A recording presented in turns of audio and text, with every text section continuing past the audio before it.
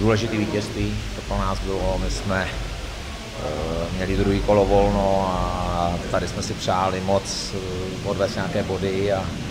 a konečně, konečně se trošičku uklidnit, být úspěšný a takže si toho výsledku moc vážíme, jsme za něj rádi, ale e, přestože jsme do toho zápasu stoupili skvěle a, a v první střídání jsme nedali gól, tak, e, tak nás to neuklidnilo a, a celý zápas to bylo od nás hodně nervózní a, a nehráli jsme vůbec hru, kterou jsme, kterou jsme chtěli hrát a, a Kladno nám dělalo, dělalo velké problémy, takže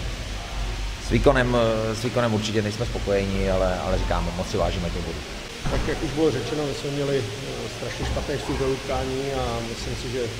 to s námi zatřáslo a celou první třetinu jsme odehráli špatně. Ve druhé třetině jsme se trošku zlepšili, měli jsme tam nějaké šance, přesilovky, bohužel gola jsme nedali a, a potom jak dal eh, Hradec na 2-0, tak si myslím, že třetí třetině si to povídal a, a zaslouženě vyhrál. To je pro nás obrovský zklamání.